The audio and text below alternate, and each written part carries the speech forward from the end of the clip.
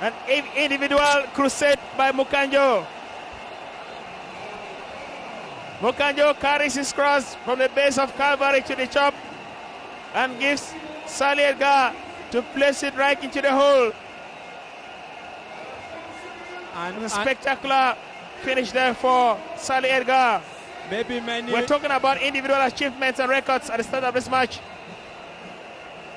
Salli Edgar certainly one of those will look for a pen and go to his diary and remember this day of the 7th of June 2014 at the Ahmadou Ahidjo Stadium. And he scored a goal to give Cameroon 1 0.